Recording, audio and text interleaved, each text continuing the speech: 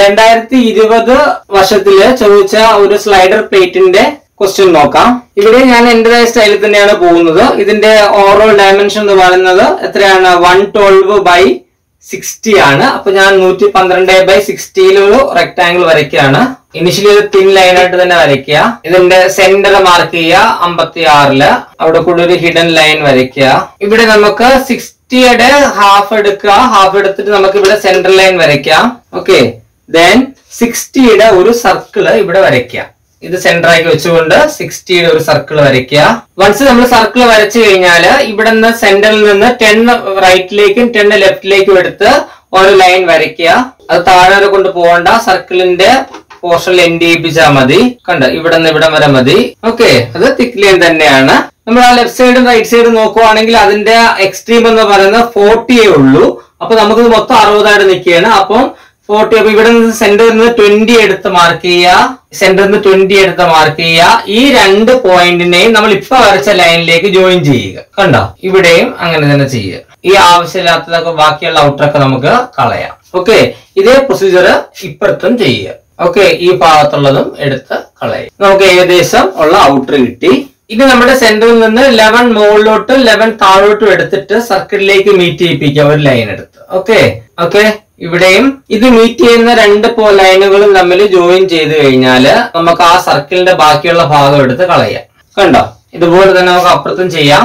Okay നമുക്ക് ആ ഡീറ്റെയിലും കിട്ടി. ഇനി നമുക്ക് രണ്ട് സൈഡിലും ഓരോ സ്ലോട്ട് ഉണ്ട്. ഫോർട്ടീൻ ആണ് അതിന്റെ സൈസ് അപ്പൊ നമുക്ക് മുകളിലും താഴോട്ട് ഏഴ് എടുത്താൽ മതി. അതിന്റെ ഡെപ്ത് എത്രയാണ്? ലെവൻ അപ്പൊ ഇവിടെ നിന്നും ഏഴ് എടുത്തിട്ട് ലെവൻ മില്ലിമീറ്റർ അപ്പൊ നമുക്ക് ഈ പോർഷൻ എടുത്ത് കളയാം. അപ്പൊ ഇതിനകത്തിന് രണ്ട് ഡീറ്റെയിലും കൂടെ കാണിക്കാനുള്ളൂ. ഒന്ന് നമുക്ക് ഇവിടെ ഒരു സർക്കുലർ ത്രൂ ഹോൾ ഉണ്ട്. ഡയമീറ്റർ ഫോർട്ടീൻ ആണ്.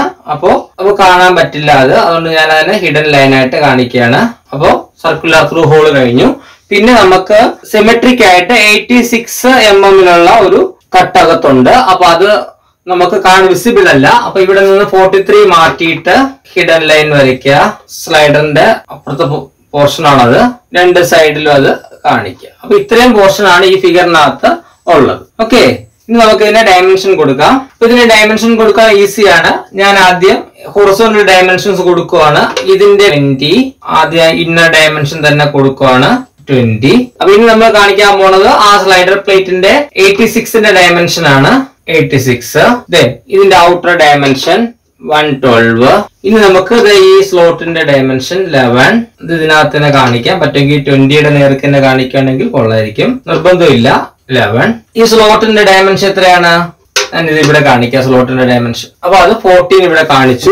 ട്വന്റി ടു ഇതിന്റെ മുകളിൽ കാണിക്കാം. ട്വന്റി ടു ഇവിടെ ആയി ഫോർട്ടി ഞാൻ ഇവിടെ കാണിക്കണേ. ഫോർട്ടി ഇവിടെ കാണിച്ചു.